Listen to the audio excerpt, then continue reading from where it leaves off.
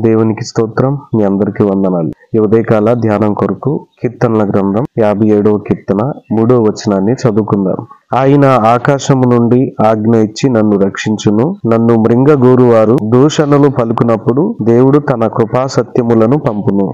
మన దేవుడు రక్షించేవాడు. మన దేవుడు రక్షకుడు. ప్రభు అయినటువంటి యేసుక్రీస్తు నామకరణం కూడా అదే. యేసు అనగా రక్షకుడు క్రీస్తు అనగా అభిషక్తుడు. తన ప్రజలను వారి పాపముల నుండి రక్షించేవాడు తన ప్రజలను వారి ఆపత్కాల సమయముల నుండి క్లిష్ట పరిస్థితుల నుండి రక్షించేవాడు. దావిద్ అంటున్నాడు కదా దేవుడు నన్ను రక్షించును. ఎవరి దగ్గర నుండి రక్షిస్తాడు? అని అంటే నన్ను మృంగగోరు వారి దగ్గర నుండి దేవుడు నన్ను రక్షిస్తాడు. మనల్ని మృంగడానికి ఎప్పుడు చూస్తున్నవాడు అపవాది.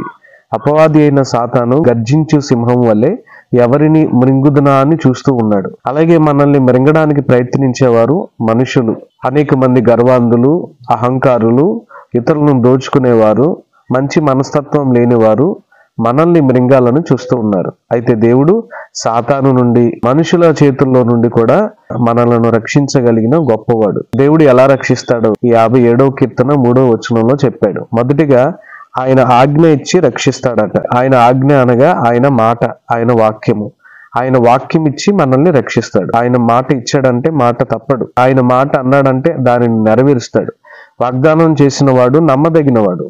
రెండవదిగా దావిదంటున్నాడు కదా దేవుడు తన కృపా సత్యములను పంపును. నన్ను మృంగగోరు వారు దూషణ మాటలు పలుకున్నప్పుడు దేవుడు నన్ను రక్షించడానికి కృపా సత్యములను పంపుము. కృపా సత్యములు అనబడిన మాట ఒకటి కాదు అవి రెండు మాటలు. ఒకటి మెర్సీ. రెండవదిగా ట్రూత్ అనే మాట ఇంగ్లీష్లో వాడబడింది. వాడబడి ఉంది దేవుడు మనల్ని రక్షించాలనుకున్నప్పుడు తన మెర్సీ అనగా తన యొక్క దయ జాలి కలిగిన మనసుతో మనల్ని రక్షిస్తాడు.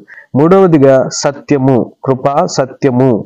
సత్యము చేత మనల్ని రక్షిస్తాడు. సత్యము జీవింపజేసేది. యేసుక్రీస్తు కూడా అన్నాడు కదా నీ వాక్యమే సత్యము అని అన్నాడు. తర్వాత యేసు ప్రభు అన్నాడు కదా నేనే మార్గమును సత్యము అని అన్నాడు. కనుక ప్రభు అయిన యేసుక్రీస్తు లేక మన దేవుడు దేవుని యొక్క వాక్యము సత్యము. దేవుడు మనల్ని ఎలా రక్షిస్తాడు? మనల్ని మృంగగూరు వారి చేతుల్లో నుండి మొదటిగా తన ఆజ్ఞనిచ్చి అనగా వాక్యునిచ్చి రెండవదిగా తన కృప చొప్పున మూడవదిగా తన సత్యమును బట్టి మనల్ని రక్షిస్తాడు.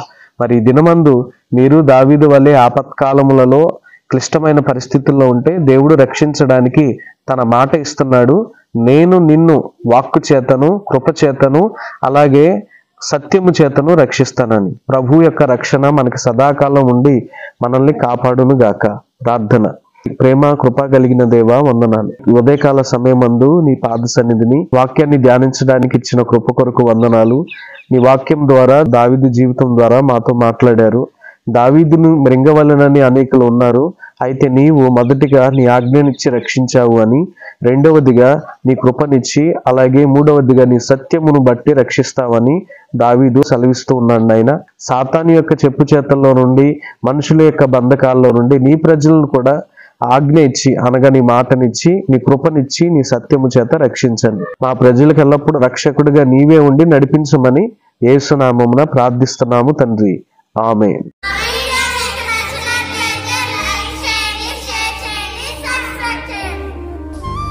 ప్రార్థన అవసరతల కొరకు సంప్రదించండి.